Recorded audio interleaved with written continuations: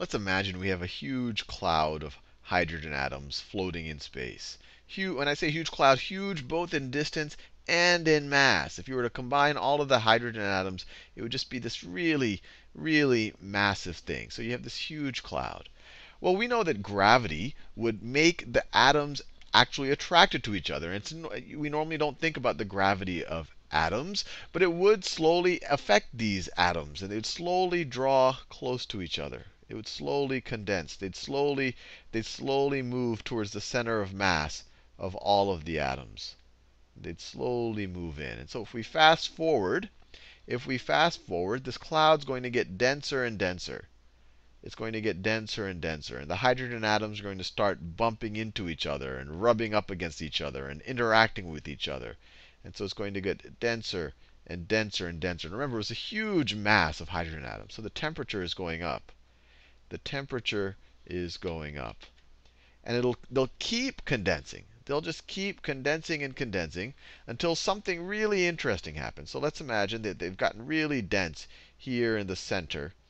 They've gotten really dense here in the center. And there's a bunch of hydrogen atoms all over. It's really dense. I could never draw the actual number of atoms here. This is really give you an idea. There's a huge amount inward pressure from gravity, from everything that wants to get to that center of mass of our entire cloud. The temperature here, the temperature here is, uh, is approaching 10 million Kelvin.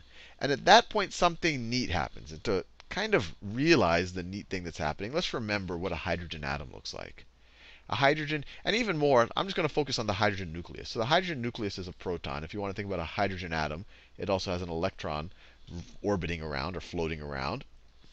And let's draw another hydrogen atom over here. And obviously, this distance isn't to scale. This distance is also not to scale. Atoms are actually, the nucleus of atoms are actually much, much, much, much smaller than the actual radius of an atom. And so is the electron. But anyway, this just gives you an idea.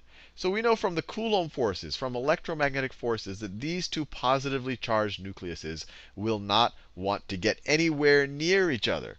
But we do know from our from what we learned about the four forces that if they did get close enough to each other, that if they did get if somehow they're under huge temperatures and huge pressures, you were able to get these two protons close enough to each other, then all of a sudden the strong force will overtake. It's much stronger than the Coulomb force, and that these two hydrogens will actually these this, these nucleuses would actually fuse, or is it nuclei? Well, anyway, they would actually fuse together. And so that is what actually happens once this gets hot and dense enough. You now have enough pressure and enough temperature to overcome the Coulomb force and bring these protons close enough to each other for fusion to occur. For fusion. Fusion.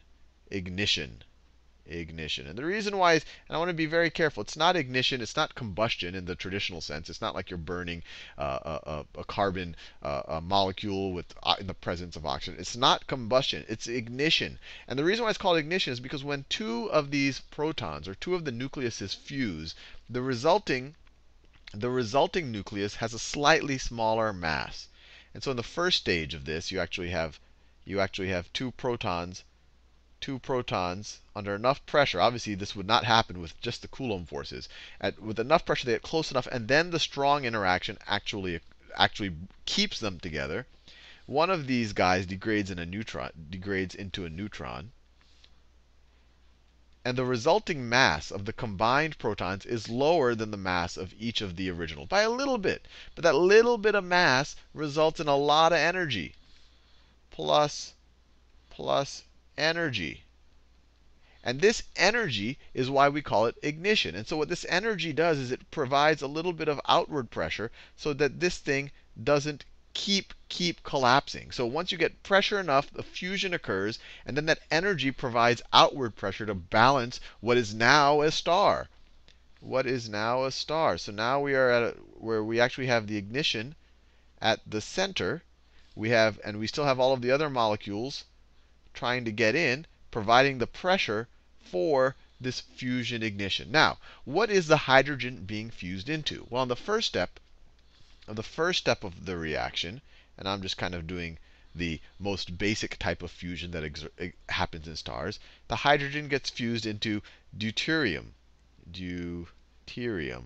Trouble spelling, which is another way of calling heavy hydrogen. This is still hydrogen because it has one proton and one neutron now. It is not helium yet. It does not have two it does not have two protons. But then the deuterium keeps fusing, and then we eventually end up with and then we end up with helium. And we can even see that on the periodic table. Oh, I lost my periodic table. Well, I'll show you in the next video. But we know hydrogen, hydrogen, hydrogen in its atomic state has an atomic number of 1, and it also has a mass of 1. It only has one nucleon in its nucleus but it's being fused. It goes to hydrogen 2, which is deuterium, which is one neutron, one proton in its nucleus, two nucleons.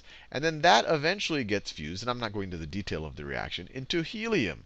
And by definition, helium has two protons and two neutrons. So it has, or we're talking about helium 4 in particular, that isotope of helium. It has an atomic mass of 4. And the whole this process releases a ton of energy because the atomic mass of the helium that gets produced is slightly lower than 4 of its of the atomic 4 times the atomic mass of each of the constituent hydrogens. So all of this energy all of this energy from the fusion, but it needs super high pressure, super high temperatures to happen, keeps, keeps the star from collapsing. And once a star is in, in this stage, once it is once it is using hydrogen, it is fusing hydrogen in its core where the pressure and the temperature is the most to form helium, it is now in its main sequence. This is now a main sequence star. Main main sequence star. And that's actually where the sun is right now. Now, there's there's questions of, well, what if what if there just wasn't enough mass to get to this level over here? And there actually are things that never get to that quite that threshold to fuse all the way into helium. There are a few things that don't quite make the threshold of stars that only fuse to this level, so they are generating some of their heat. Or there are even smaller objects that just uh, get to the point there's a huge te temperature and pressure, but fusion is not actually occurring inside of the core. And something like Jupiter would be an example. And you can go several uh, several masses above Jupiter where you get something like that. So you have to reach a certain threshold where the mass, where the pressure and the temperature due to the heavy mass get so large that you start this fusion. And, but the, the smaller you are above that threshold, the, the slower the fusion will occur. But if you're supermassive, the fusion will occur really, really fast. So that's a general idea of just how stars get formed and why they don't collapse on themselves and why they are these kind of balls of, of, of fusion reactions existing in the universe. And the next few videos, we'll talk about what happens once that hydrogen fuel in the, in the core starts to run out.